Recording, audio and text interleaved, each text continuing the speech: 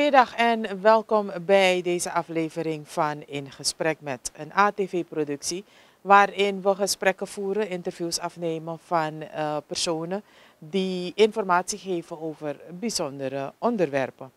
Ik ga zo meteen in gesprek met Linda Nooitmeer. Zij is voorzitter van het NINSE en uh, de vorige week, om precies te zijn op 21 februari, heeft het NINSE in Suriname een expertmeeting gehad met uh, organisaties in Suriname om te praten over een mogelijke herstelagenda. En over het natraject praten wij met mevrouw Nooitmeer.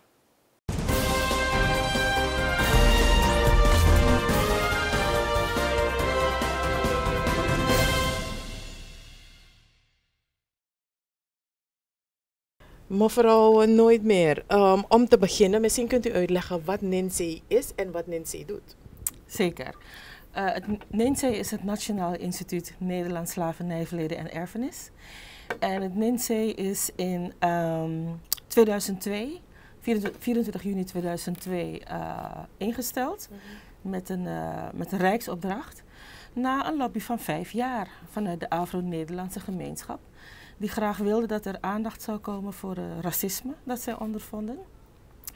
En die de visie had dat uh, meer kennis over het slavernijverleden zou resulteren in uh, de uitbanning of het verminderen van het racisme. Ja. En um, daarnaast wilde men ook graag een monument, een monument ter nagedachtenis van de slachtoffers van de slavernij in het Caribisch deel van het Koninkrijk en Suriname. En om daar uh, respect te betuigen aan de voorouders op 1 juli. En het NINSE uh, is ook gestart met vijf pijlers, waarvan het Slavernijmuseum een, uh, een belangrijke pijler was, maar zeker ook educatie, documentatie. En um, de afgelopen, uh, sinds 2018, heeft het NINSE zich ook toegelegd op zo breed mogelijk in het land instellen van comité's, herdenkingscomité's. We hebben nu 18. Ja. Dit jaar groeien we naar 25. Waardoor als je kijkt op de kaart van uh, Nederland, we in elke provincie met minimaal één herdenkingscomité zitten. Die ervoor zorgen dat er op lo lokaal niveau aandacht is voor het slavernijverleden. Aandacht is voor het uitsluiten. Want at the end of the day, wat is de core van het NINC? Gaat het echt over het inlopen van sociaal-economische culturele achterstanden. Van mensen met met Afrikaanse roots in het Caribisch deel van het Koninkrijk. Dus Aruba, Bonaire, Curaçao, ja. Sint Eustatius, Sint Maarten en uh, Saba, Suriname en in Europees Nederland. Dus okay. dat is het NINSE. Oké, okay. en dan meer dan twintig jaar later, uitbannen racisme, zijn jullie opgeschoten? Kijk, ik denk dat um, de, de, de eerlijkheid ook gebiedt dat je uh, racisme niet uitbant. Uh, uh, wat je wel krijgt is dat je, wat, waar we wel in geslaagd zijn, is om uh, de kennis over het, uh, over het slavernijverleden over het voetlicht te brengen. ook ervoor te zorgen dat excuses, excuses was ook een belangrijke pijler. Want eigenlijk kun je niet herdenken in aanwezigheid van ook een vertegenwoordiger vanuit het kabinet, zonder dat de voorouders het respect gekregen hebben die ze verdienen. Dus racisme ga je niet uit, uitbannen, maar door meer kennis, meer bewustwording, meer herschrijven van de geschiedenis zorg je er wel voor dat de nazaten uh, meer waardering krijgen voor zichzelf. Ja. En, uh, en ook dat de voorouders een plek krijgen in de geschiedenis, waardoor ze de waardige positie die ze verdienen ook, uh, ook krijgen. Ja. Dus racisme ga je nooit uitbannen. Maar andere beelden over mensen met Afrikaanse roots, ik denk dat we daar wel in, gesla nee, dat we daar wel in slagen. Okay. Het gaat met, met vallen en opstaan. Uh, maar, uh, maar de trein gaat door. Okay. Ja. U liet net vallen uh, excuses, um, die zijn inmiddels gekomen. En toch zijn er mensen die zeggen, ja, voor mij had het niet gehoeven, excuses, wat moet ik er, wat moet ik er nu mee? En ik neem aan dat Ninse die, um, die opmerkingen natuurlijk ook hoort. Hoe gaan jullie daarmee om? Kijk, het is begrijpelijk. En kijk, ik zeg ook wel eens... Um, uh, het is niet voor niks dat de focus van het NINSE is het inlopen van sociaal-economische en culturele achterstanden. En ik zeg ook altijd tegen mensen, je moet je realiseren dat het soms een luxe is mm -hmm. om je druk te maken over excuses. Ja. Wat belangrijk is aan de excuses is dat wij, kijk, al 21 jaar herdenken. Ja. We, en um, Ehm, als wij, het is belangrijk dat de voorouders omteerden bigisma. Ja. En op 1 juli, tot nu toe, dat was me altijd een doorn in het oog. Ik, ik ben nu dit jaar ben ik uh, zeven jaar verbonden bij het NINSE. Uh, het was me altijd toch een doorn in het oog dat op 1 juli er heel veel aandacht is. Uh, iedereen wil erbij zijn, vanuit het kabinet ook heel veel aandacht. Ook de vorige kabinetten, mm -hmm. altijd een vertegenwoordiger, een minister was het een show? Uh, aanwezig. Nou ja, weet je, het was, uh, het was een belangrijk moment. Okay. Maar ik, vind, ik, ik hou van volgorde. En de volgorde is, 1 juli gaat over respect betuigen aan de voorouders. Maar um, als je respect wil betuigen, moet je er ook voor zorgen dat er gewoon pardon wordt gezegd. Punt. En dus de excuses zijn ook niet voor ons nazaten. Dat gaat niet over ons. Het gaat over onze bigismas. Het gaat Mhm. over onze voorouders.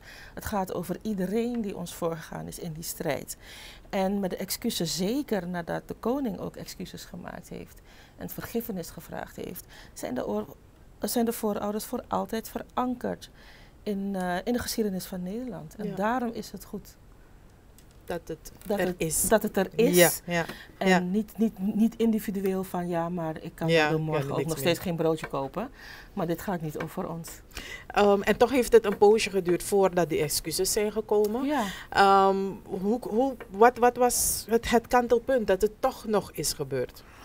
Ik denk, ehm, eh, het heeft natuurlijk heel veel uitgemaakt dat in het huidige kabinet en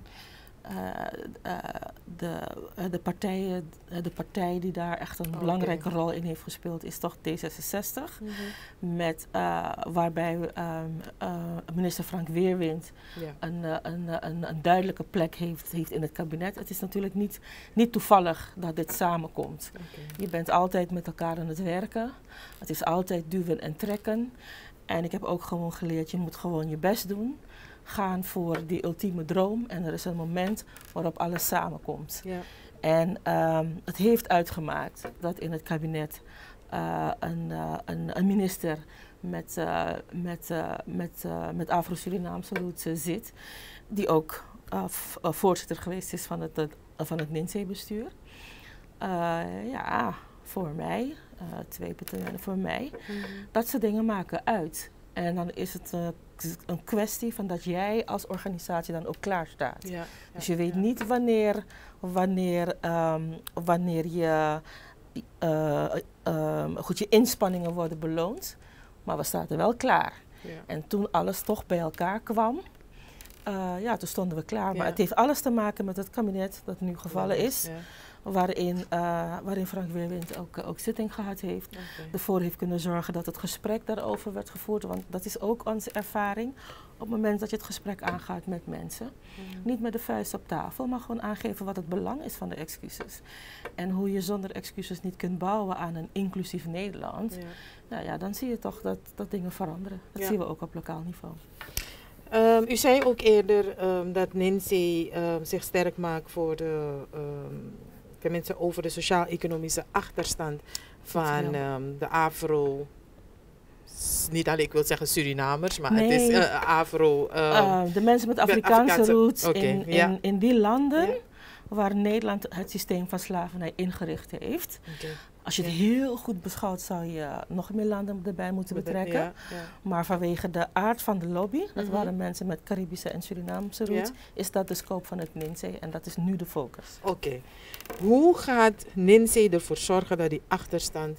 Het zal niet helemaal worden weggewerkt, maar wat zijn de stappen die worden ondernomen om daaraan te werken? Kijk, we hebben altijd gezegd eh, richting 19 december, de eerste eh, toen eh, eh, premier Rutte. Eh, excuses maakte voor het aandeel van Nederland in de slavernij. Hebben we altijd gezegd dat er een herstelagenda moet komen. Ehm, Geen zak met geld? Ehm, uiteindelijk, als je een agenda maakt, we, we leven in een kapitalistische maatschappij, dan zul je uiteindelijk, hoort er een, een, eh, een, eh, een, eh, een bedrag bij. Maar je moet wel werken vanuit een visie. Wat Ja. hebben we nodig? Ik had het heel fijn gevonden, want ehm, 2023 is aangemerkt als een jubileumjaar. Yeah. Waarvan ook denken we, nou jubileum. Want wat jubileren we eigenlijk? Hè? Ja, jubileren we dat we 160 jaar na de afschaffing van de slavernij nog steeds te maken hebben met uitsluiting en sociaal-economisch-culturele achterstanden. Dus voor ons is het een gewoon jaar. Maar het is wel goed dat het Nederlandse kabinet dat jaar als, als, als markeringsmoment genomen heeft om te zeggen van oké, wij gaan kijken, zij gaan kijken hoe ze kunnen werken aan dat herstel. Um, voor mij betekent het echt een herstelagenda. Wat moet gebeuren op alle lagen binnen die, die, uh, die Afrikaanse gemeenschappen in die landen om ervoor te zorgen dat de achterstanden ingelopen worden. En ik geloof heel erg in investeren in de gemeenschappen.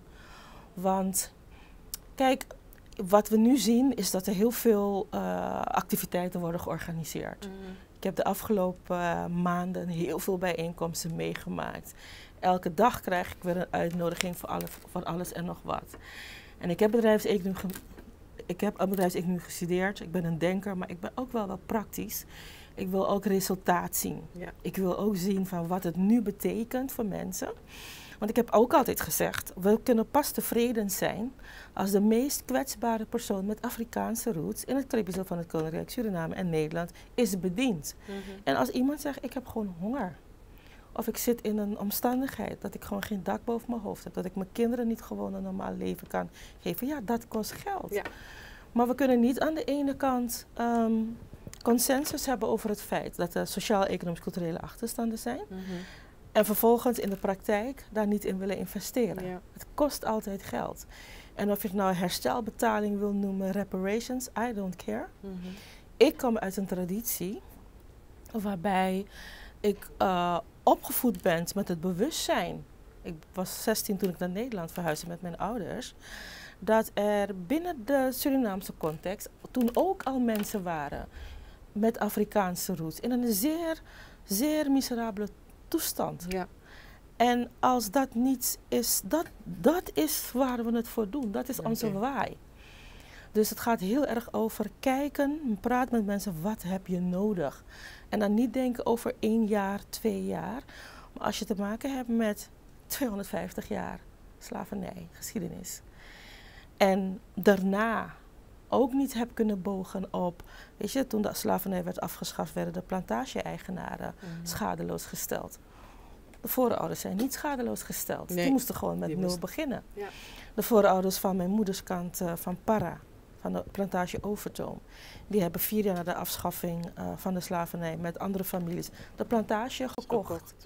Terwijl ze tinga tinga hun geld bij elkaar hadden gespaard. Ja. En toen dat was verkocht, gekocht, hadden ze verder niks, moesten ze weer opnieuw beginnen. Dus als dat je uitgangspunt is, dan weet je dat er iets goed te maken, te repareren valt. Ja. En dan moet je gewoon daar beginnen. Dus al die, ik vind, we hebben heel veel goede bijeenkomsten, hè, dat vind ik echt prachtig. Mhm. Maar soms denk ik wel van, oef, hebben we vandaag nou iets gedaan? Ja, precies. Wat uh, de situatie heeft verbeterd, voor de meest kwetsbare persoon ja. in al die landen. Ja. En dan um, om even te blijven op die sociaal-economische achterstand. Er, um, er, zijn, er is geld vrijgemaakt, ook bijvoorbeeld vanuit de, de Nederlandse bank of vanuit mhm. de Nederlandse overheid. En um, om projecten uit te voeren in Suriname. Ja. Maar een voorwaarde is wel altijd, een Surinaamse organisatie moet verplicht samenwerken met een Nederlandse organisatie. Waarom moet dat? Waarom wordt er daaraan niet, waarom wordt er geen vertrouwen gegeven aan een Surinaamse organisatie die hier de situatie kent om het probleem hier op te lossen met, met de fondsen of aan te werken? Um, dat is een voorwaarde die altijd staat in de ik projecten. Ik moet zeggen dat, heel eerlijk gezegd wist ik niet dat dat de voorwaarde, een, een belangrijke voorwaarde was, want ik vind het wel spijtig. Um, en kijk, ik snap uh, ik, maar goed, weet je, ik, ik, ik, denk, ik denk dat we met elkaar in deze moderne tijd in staat zijn om een goed systeem van controle in te richten. Ja. Ik vind dat als Surinaamse organisatie uh, een plan indient, uh, goed onderbouwd, de governance is oké, zoals we dat in Nederland doen, dan vind ik dat dat, dat, dat, dat voldoende moet zijn. Ja. Dat vind ik een betere, vind ik vind ik betere randvoorwaarden dan zeggen dat het een Nederlandse organisatie moet zijn. want met alle respect, ik ken ook Nederlandse organisaties waarvan ik denk, nou, ik wil ook wel eerst eh, weten hoe dat zit met de governance. dus Niet, niet het feit dat het een Nederlandse organisatie is, zou moeten betekenen dat, um, dat, goed zit. Ja, dat de zaken wel in orde zijn. Ik vind gewoon dat je, het gaat ook om een gelijk speelveld. Ja. En het systeem van slavernij is ingericht in Suriname en het Caribisch deel van het Koninkrijk. En dat betekent dus ook dat, dit, we noemen het, dit is het plaatsdelict. Mm En um, onderdeel van het proces van reparatie vind ik ook de manier waarop je met de mensen omgaat. Ja. Je kunt niet een, eigenlijk een koloniaal proces, ik zeg het heel even uh, zwart-wit, koloniaal proces voortzetten. Met de ambitie om daar een soort emancipatieproces aan te hangen. Het moet in lijn zijn met elkaar. En dan snap ik dat er nog geen ervaring is in uh, hoe om te gaan met de, uh, de, de, de uh, dat men dus goede organisaties niet kent, et, kent, et cetera, et cetera, mhm. et cetera. Dat begrijp ik, maar dan zou ik toch zeggen, laten we komen met die randvoorwaarden ervoor zorgen dat we de organisaties wel gewoon kunnen bedienen, eigenstandig, want het zijn zelfstandige organisaties. Ik kan, we kunnen moeilijk praten over gelijkwaardigheid. Als dat niet het geval is. Ik voel me er niet zo lang bij dat uh, er per se met een Nederlandse organisatie gewerkt moet worden om onze broeders en zusters in Suriname eindelijk uh, de kans te geven om in te schrijven op die fondsen die uh, in eerste instantie ook bedoeld moeten zijn om daar waar het systeem ingericht is en daar waar slavernij ook gevoeld is en waar je duidelijk nog de sporen van slavernij ziet, om daar die, die investeringen te laten doen. Ja. Dus um, um, dat zou niet een randvoorwaarde zijn die ik zou, ik zou stellen. Want het, het, het, het etaleert al in de, in de kern niet, of bij de start niet die gelijkwaardigheid, nee. die wel de basis moet zijn om echt in het proces al. En ook, weet je, en ook met vallen en opstaan. Kijk, als wij iets doen, moet het meteen goed zijn. Mhm. Terwijl um, we ook gewoon naar de situatie moeten kijken zoals het is. Um, uh, dus, um, uh, en je kunt het proces zo begeleiden zoals je wilt. Om er zeker van te zijn dat je komt tot een goed, uit, uh, goed eindresultaat. Dus mijn pleidooi zou zijn, vertrouw de mensen, kom met gewoon duidelijke randvoorwaarden. Laat de governance gewoon goed zijn, maar laten we beginnen vanuit die gelijkwaardigheid. Want als we nu niet met die gelijkwaardigheid beginnen, wanneer gaan we dat dan wel doen? Precies. Um, ik, ik, moet wel zeggen dat de Nederlandse bank de fondsen die in Suriname zijn, dat niet als uh, belangrijkste voorwaarde wordt gesteld. Okay. Maar alle fondsen die dus vanuit Nederland komen en je daarbij wil inschrijven, dan is ja, dat de zeggen. voorwaarde. Ja, ja, dus, um, maar dan nog. Ja, ik vind. Um, uh, uh, ze noemen, hè, het noemt, men noemt dat co-creatie. Kijk, wij zijn daar uh, ik, vind het, ik vind niet dat het een randvoorwaarde moet zijn. Voor ons, bijvoorbeeld vanuit NINSE, is het, uh, um, zou het natuurlijk fantastisch zijn vanuit de gedachte van één nazaat. Ja. Dat je, um, en dat is ook de reden waarom wij in Nederland zijn, uh, het proces wil ondersteunen. Mm -hmm. Maar als het gaat om wie aan zet is en wie bepaalt wat er moet gebeuren, ja. ja dan zijn onze Surinaamse broeders en zusters aan zet wat dat betreft. Ja. We gaan even naar uh, de. Uh, Nancy is in uh, Suriname en heeft op 21 februari een expertmeeting gehad um, in Suriname. Daar zijn er um, heel wat ideeën naar voren gekomen voor wat betreft de herstelagenda. Is dat zo? Zijn de ideeën inderdaad aangedragen waarvan Nancy nu zegt: we kunnen een herstelagenda in Suriname gaan maken? Wij wilden nooit een herstelagenda in Suriname maken. Oké. Wij willen weten hoe dat er in Suriname uitziet. We voelen vanuit de gedachte van één nazaat altijd die verantwoordelijkheid.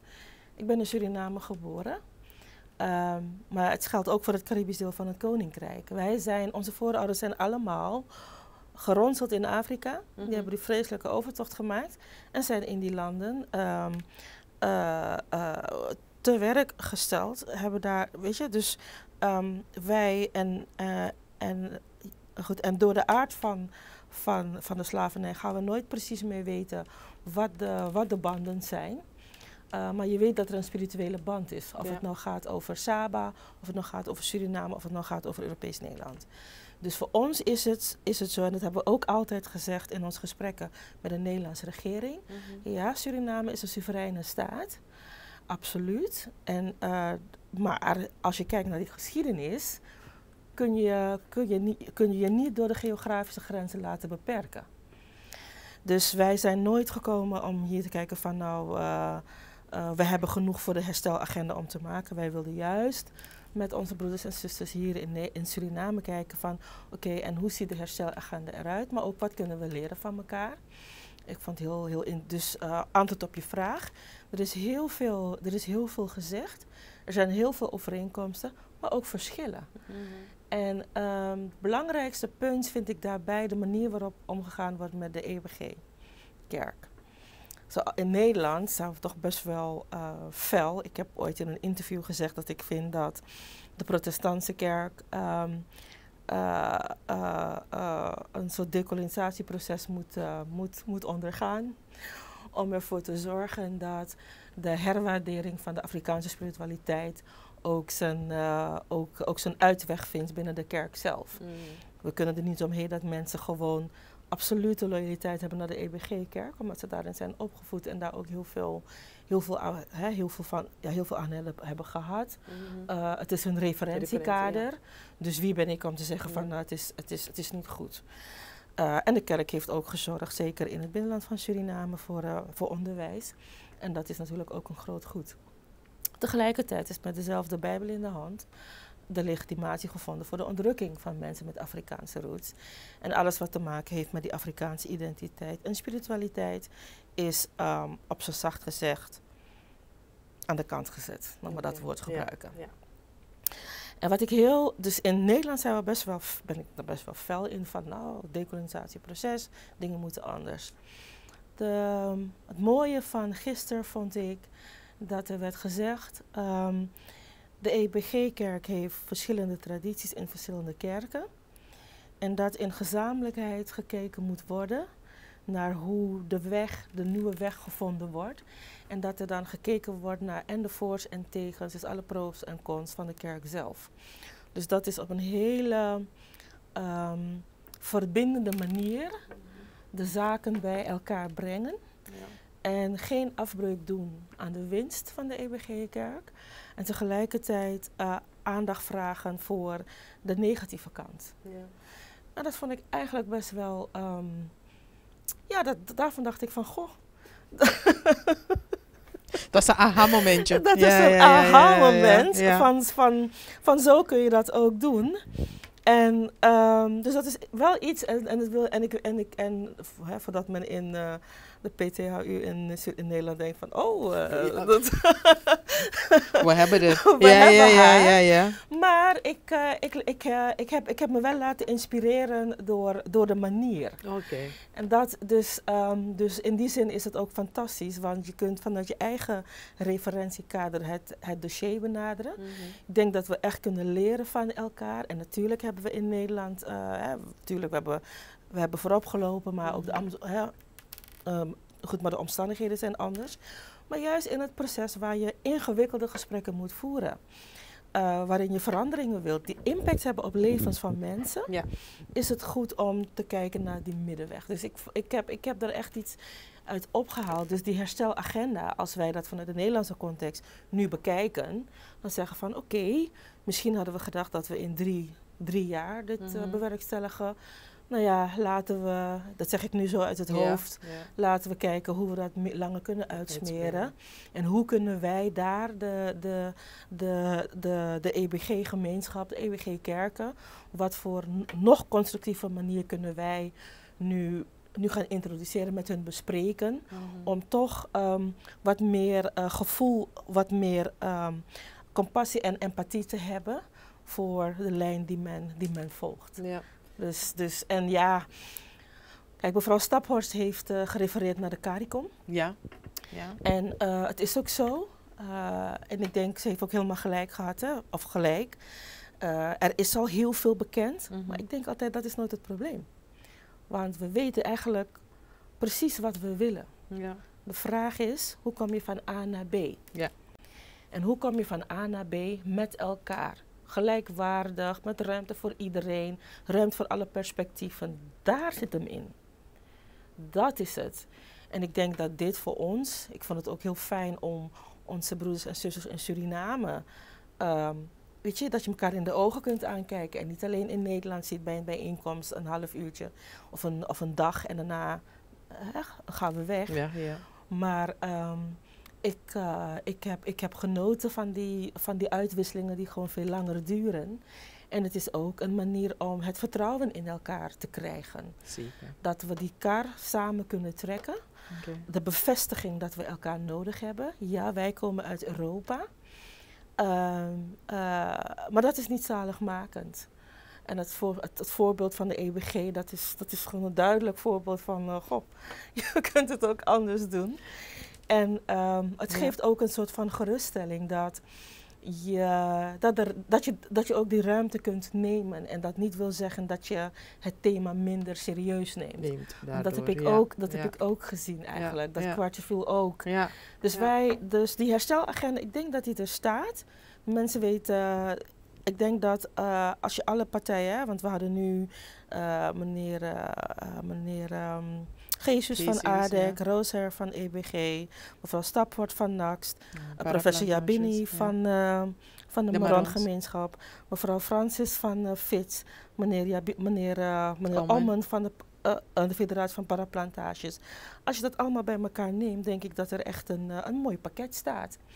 Maar de vraag is, hoe gaan we met elkaar in vertrouwen ervoor zorgen dat we, dat we dat hele pakket verder brengen?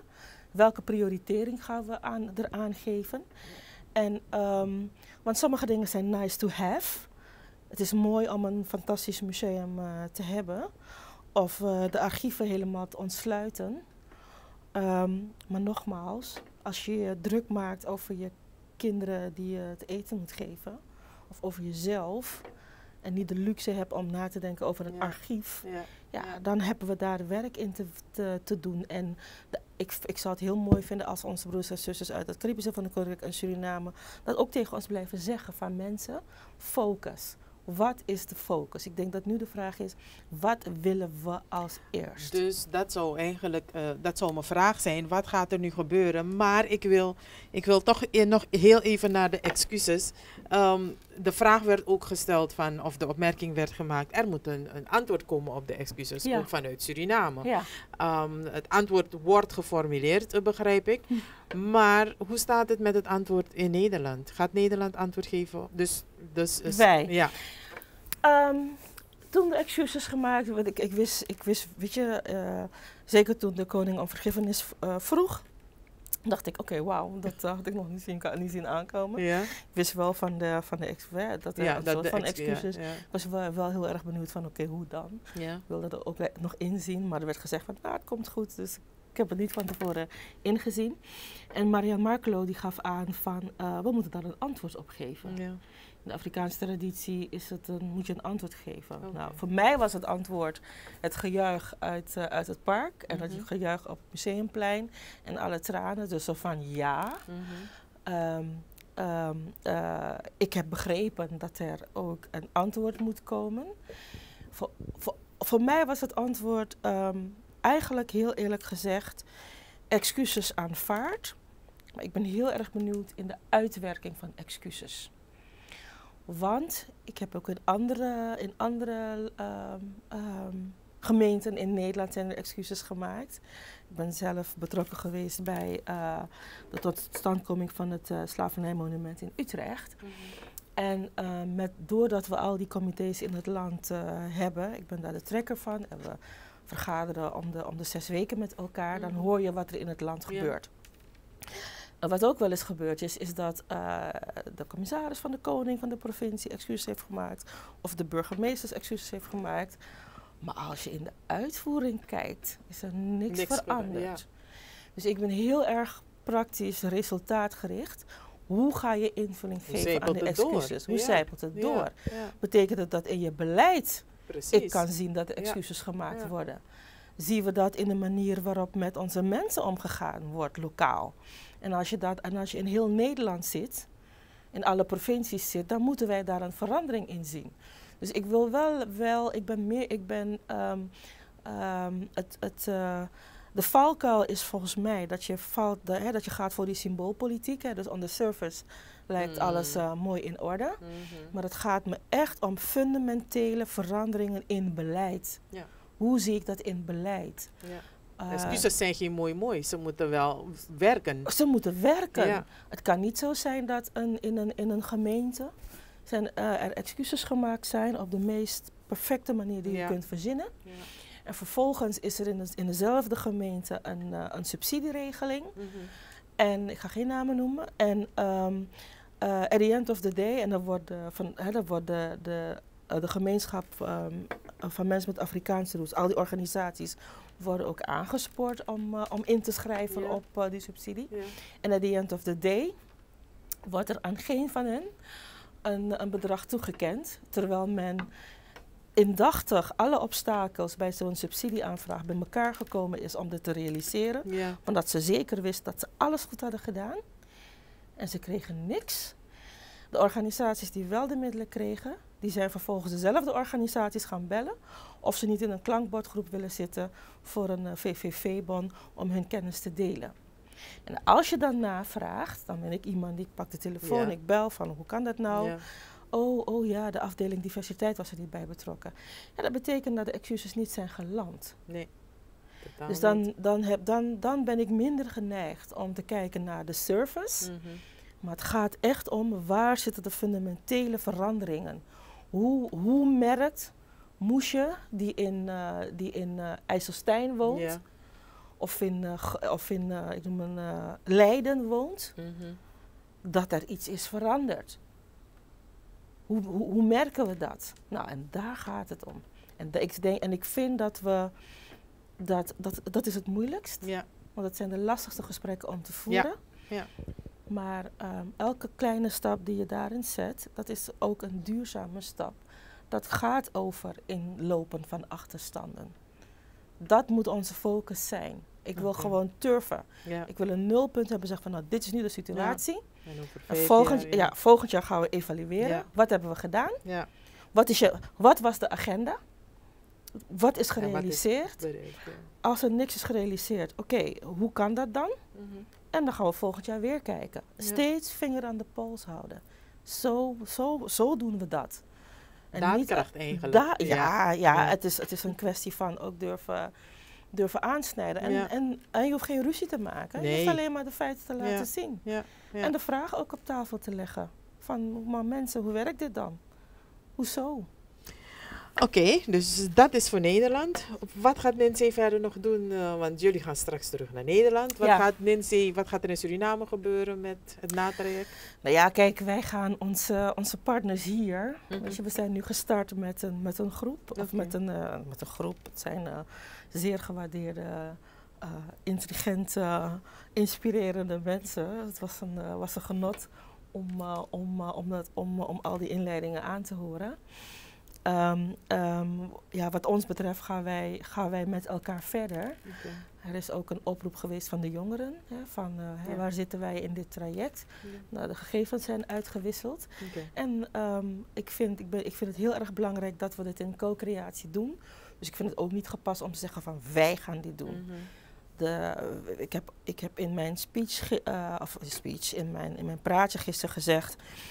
Bij ineens gaan we uit van dienend leiderschap.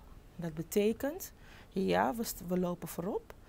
We willen voorop lopen, maar we zijn dienstbaar aan, uh, aan wat men graag wil. Okay. Dus de bal ligt eigenlijk bij onze broeders en zusters hier. Okay. Hoe willen jullie dit verder doen? Ik denk dat mevrouw Staphorst echt een uh, fantastische betoog had. Dat kon je zo uh, in je tas stoppen en, en meenemen. Ja.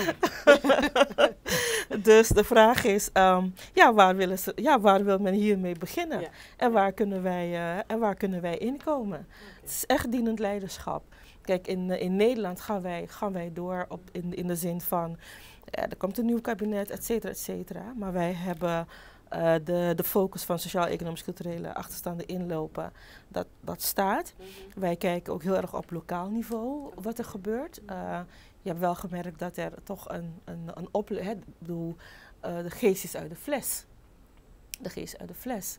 Dus we gaan niet meer terug naar de situatie voor de excuses. Absoluut niet. Um, wij vinden het heel belangrijk dat de geschiedenis geschreven wordt, herschreven, wordt. Uh, want nu is het vanuit het perspectief van anderen, op mhm. welke manier dan ook. En daar moeten we ook van af. Ik vind heel erg dat het leiderschap natuurlijk ook binnen onze, onze gemeenschappen zelf zit. Het is ook belangrijk dat wij zelf leiderschap nemen. Als wij willen weten hoe de geschiedenis van de Afro-Surinamers zich heeft ontwikkeld, dan vind ik dat wij daar uh, de lead in moeten, in, moeten zijn. En vanuit dat perspectief ook, ook de geschiedenis opgeschreven moet worden. Maar ook als het gaat over, over ja, onze helden. Waarom kennen wij alleen Baron Bonnie en ja. Waarom is er geen boek over onze helden, was Waar, de vraag Waarom is er ook geen boek over onze helden? Nou, ik vind dat wij daar en dat doen we ook met de comité's in het land, dat wij daar, uh, een, daar ook echt een voortouw in moeten nemen. Maar nog steeds moeten focussen op en hoe is het beleid, hoe zorgt het beleid, lokaal en nationaal, ervoor dat die sociaal-economisch-culturele achterstanden ingelopen worden. Dat blijft. Het is heel vervelend voor mensen, want het is gewoon een mantra. maar het is wat het is. ja, dat hoor ik zo. Nou, mevrouw Nooit meer, ik wil u bedanken voor dit gesprek. Er zijn nog honderd vragen die we kunnen stellen, maar ik neem aan dat er meer gelegenheden komen om die aan u te stellen. Zeker. Dank u wel voor uh, het gesprek. Dank dat ik hier mocht zijn.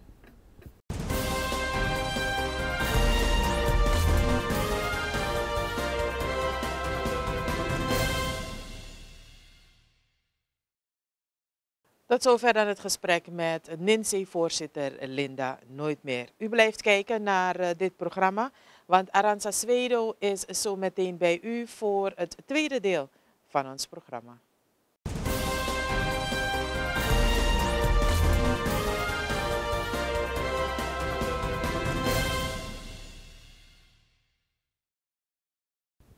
Dankjewel Rosita. Beste kijkers, welkom bij het tweede deel van In Gesprek Met.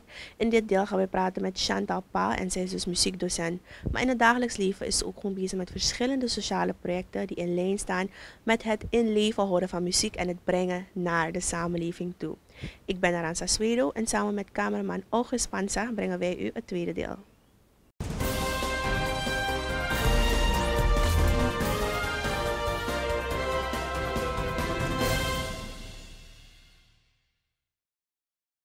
Chantal Paul, dank u wel dat u tijd heeft vrijgemaakt om met ons te zitten vandaag. Allereerst, hoe gaat het met u?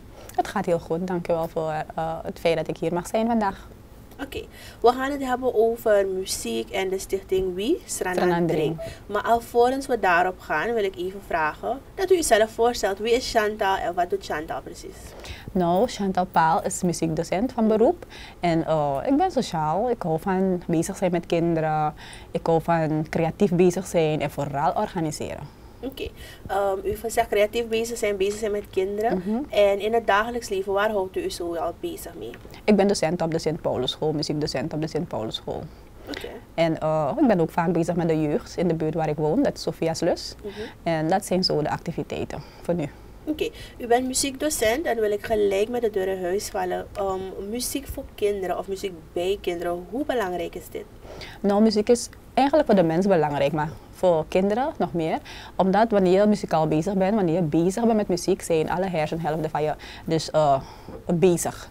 En uh, je intellect, je bent bezig met je intellect om, uh, eigenlijk ben je met alles zo'n beetje bezig. Want je bent met ritme bezig, je bent met lezen bezig, je moet teksten onthouden. Dus voor kinderen is het sowieso belangrijk, want het is, ze zijn in, hun, in de fase van hun ontwikkeling. En dan met muziek kan je anything doen. Je kan muziek met alles combineren. Muziek met taal, muziek met rekenen, muziek met verschillende leervakken en noem maar op. Oké, en we zien anno 2024 dat muziek, het is inderdaad wel een vak op school, maar vindt u dat er genoeg aandacht eraan wordt besteed als de andere overige hoofdvakken? Um, er wordt helemaal, ik vind niet dat, het, uh, dat er rekening wordt gehouden met het vak. In feite moet muziek een hoofdvak zijn. Maar vanwege het feit dat er geen uh, docenten zijn, niet genoeg docenten zijn. Dus um, hierbij wil ik dus ook aangeven dat het ministerie gaat werken daaraan. Want muziek is echt wel een superbelangrijk vak. Dus en op alle scholen heb je ook een muziekdocent. Waardoor je een, een uh, kinderen raken uit balans. Je hebt geen lijn. Want sommige scholen hebben wel een muziekdocent of een muziekleerkracht andere weer niet. Dus wanneer uh, de leerstof of dat vak wordt niet voldoende gedoseerd. Maar waarom denkt u dat het ligt dat het niet op elke school, want dat heb ik mhm. inderdaad mm -hmm. ook wel waargenomen. Mm -hmm. Waarom denkt u dat het ligt dat niet op elke school of elke school beschikt over een muziekdocent?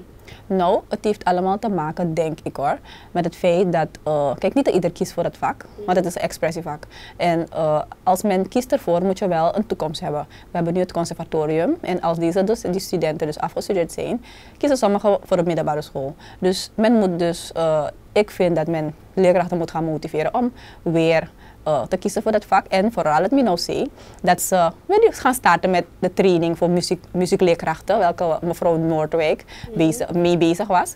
Zodat ze gewoon weer de scholen uh, voorzien van muziekleerkrachten. Oké, okay, ik heb u ook meegemaakt als mm -hmm. muziekdocent en mm -hmm. u bent wel echt helemaal in het vak. Um, u doet hoe lang aan muziek? Ik ben nou ongeveer pakweg 17 jaar, langer dan 17 jaar bezig met het vak. Ja, en als u een vergelijking moet maken voordat u bent begonnen mm -hmm. en nu, welke impact heeft muziek gehad op uw leven? Nou, ik ben veranderd qua karakter. Want je, kijkt, je bekijkt ook bepaalde zaken anders. Uh, muziek is ook uh, bezig met je, je bent bezig met je emoties mm -hmm. en uh, je ziel. Dus al die dingen hebben impact op me gehad. En het sociale vooral, want als je bezig bent, kijk, soms luister je gewoon naar een liedje, maar wanneer je in een bepaalde situatie zit, dan raakt het je ziel. Mm -hmm. Dus vandaar dat het ja, ik ben veranderd. Ik, uh, ik ben altijd creatief. Ik ben creatiever geworden vooral. Want ik ben gaan schrijven. Weet je, ik ben ook uh, me gaan focussen op bepaalde uh, muziekinstrumenten. Ja. Dus ik, mag, ik ben dankbaar dat het een talent van me is en vooral mijn passie. Ja, um, we gaan nu naar de stichting Wisranandring. Mm -hmm. En is eigenlijk geen onbekende stichting meer mm -hmm. in de Surinaamse samenleving. Mm -hmm. Wat doet de stichting precies? Nou, ze hebben als missie om bezig te zijn met duurzame ontwikkeling. En voor dus met jongeren voor de toekomst zijn ze bezig. Voornamelijk, hun doelgroep is de toekomst. En ze zijn ook bezig met verbinding, toch? Samen kijken van uh, met wie kunnen we samenwerken om de jongeren te motiveren, te inspireren om alvast te waarderen wat ze hebben in hun land. En uh, Suriname eigenlijk op een hoger niveau te tillen als het gaat om uh, de ontwikkeling van het land. Want we weten dat een heleboel jongeren wegtrekken. Mm. Maar uh, we moeten proberen om tenminste iets te creëren voor de jongeren dat ze hier blijven. Ja. En vooral het waarderen van, het eigen, van hun eigen land is een van de um, doelen van de stichting. En dat willen ze doen middels verschillende sociale projecten, sociaal-maatschappelijke projecten. En um, hun, de komende, het hun komend project is een van, een van die. Oké, okay. uh, we komen straks terug op het komend project, mm -hmm. maar wat heeft Wisran en Drink allemaal al gedaan sinds u de projectleider ook daar bent? Mm -hmm.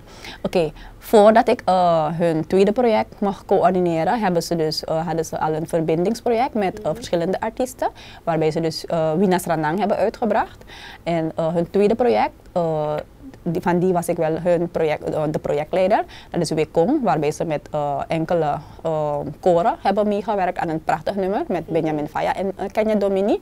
En dit project, het komend project, muzikale workshop met kinderen van de basisschool, vier, leerjaar 4. We kennen het nu als groep 6, mm -hmm. is hun derde project. Oké, okay. en het is eigenlijk, het zijn die liedjes die te horen zijn op de radio, toch? Jawel. Mm -hmm. Oké. Okay. -hmm. um, jullie hebben het, heeft het gehad over wat de stichting allemaal doet en de projecten die jij uitgevoerd. Mm -hmm. uh, los daarvan gaat de stichting ook samenwerkingen aan met misschien organisaties of scholen om ook daar hun invloed te geven? Dat is de bedoeling. Dat is de bedoeling dat ze uh, samenwerken met uh, andere stichtingen die ook dus dezelfde missie uh, hebben. Om voor duurzame ontwikkelingen, sociaal-maatschappelijk een beetje awareness brengen, vooral onder jongeren. Dus eigenlijk werken ze met alle groepen, maar voornamelijk jongeren omdat zij de toekomst zijn. Zij moeten overnemen van de volwassenen. Okay. Mm -hmm. Gesproken over awareness, over bewustwording. Mm -hmm. um, het, dit is een van de stichtingen die zich mm -hmm. bezighoudt met um, muziek en projecten in die richting. Vindt u dat er dan genoeg bewustwording is als het gaat in de samenleving op sociaal-maatschappelijk gebied um, over muziek? Nou, kijk, alleen kan je het niet doen. We moeten het samen doen. Maar als één persoon bezig is, dan trigger je elkaar. Zodat we uh, het samen gaan doen. En als we het samen gaan doen, dan krijg je wel... Uh, een impact. Toch? Dat je een blauwdruk gaat neerzetten. En dat is de bedoeling. Dat, dat willen we samen met anderen ook gaan doen, want alleen kan je het niet. Dus ehm, nu zijn we heel langzaam bezig. Langzaam, voorzichtig, maar zeker bezig.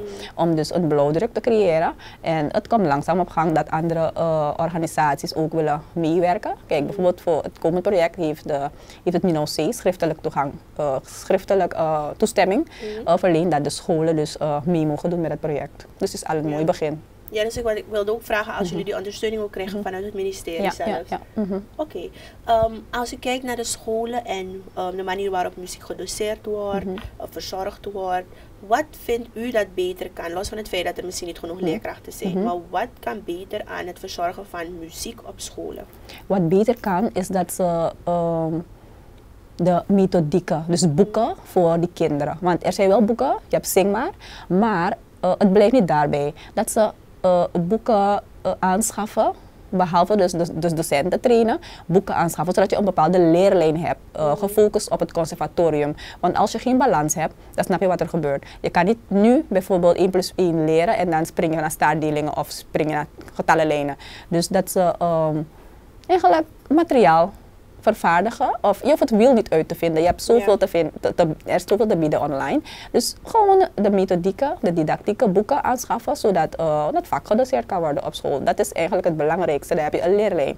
En rekening houdend op het feit dat we ook op het conservatorium dus deze leerlingen willen hebben. Want wil je docenten, moet je werken aan een kweek. Toch? En dat mhm. begint op de basisschool. Je begint met de kleuters en dan begin je te introduceren. Als ze iets ouder worden, dan gaan ze naar de VOJ-school. Je hebt docenten daar, die nemen het mee. Waardoor je op het conservatorium ook docenten hebt die later over kunnen nemen. Of het vak kunnen doseren op de basisscholen of de verschillende onderwijsniveaus. Precies, en zo werk je ook aan een mm. generatie van Helemaal. Uh, muziekdocenten in dit Helemaal. geval. Uh, u gesproken over het volgende project. Ik mhm. ben heel erg benieuwd, wat is dat? Mhm. Nou, het project uh, wordt georganiseerd in samenwerking met het KOB, de Stichting Wisselenandering, en in samenwerking met het KOB.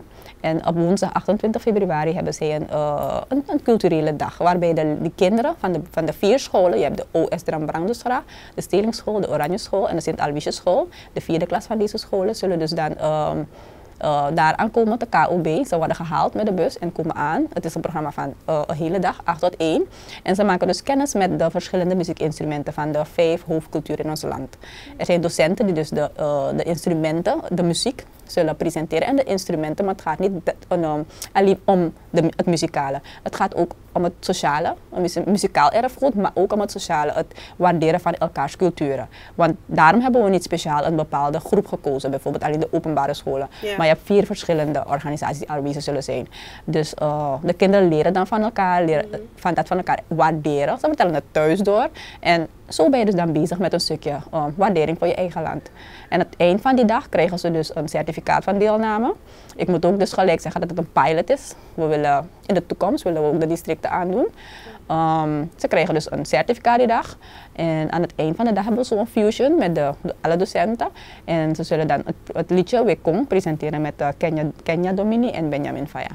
Oh, nice. En doen jullie dit alleen of hebben jullie ook partners waar jullie samen mee werken? Natuurlijk mogen we de partners niet, vergeten. Deze dag is mede mogelijk gemaakt door Finabank, uh, Dresscode. We hebben Suriprint die, er, die zorgt voor de, het uitprinten van de um, certificaten van de kinderen.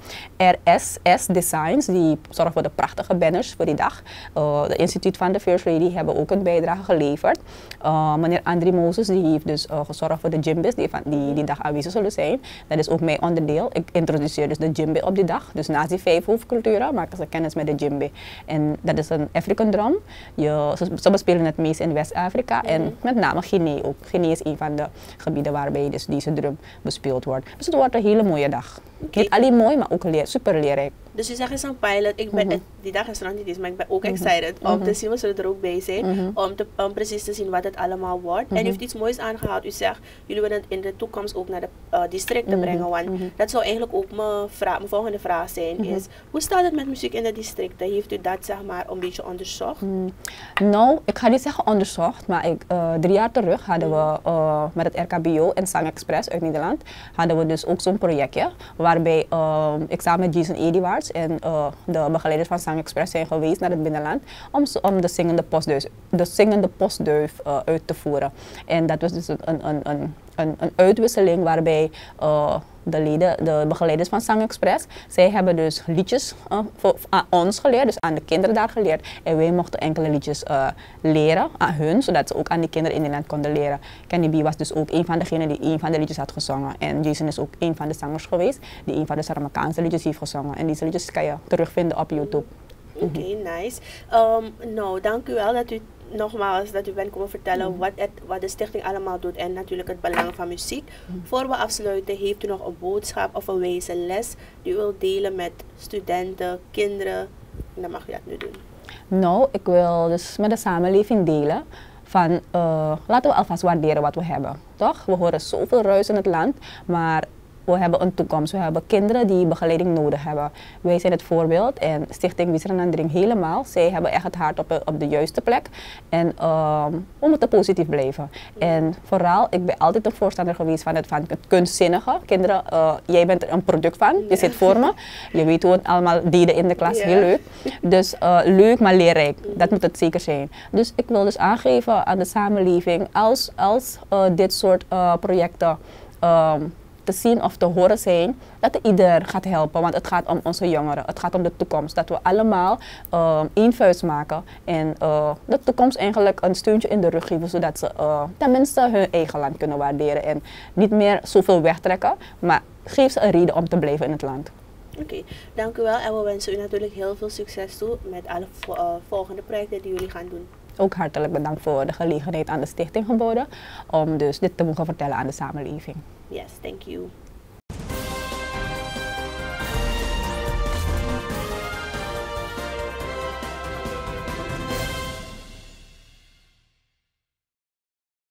Muziek in leven houden. Muziek is een belangrijk onderdeel van elk kind. En met deze woorden van mevrouw Chantal Paul zijn we aan het eind gekomen van het tweede deel, tevens deze aflevering van In Gesprek met. Ik geloof dat u er wat aan heeft gehad, dus zie ik u volgende week heel graag terug bij een nieuwe aflevering. Ik ben Aranza, bedankt voor het kijken.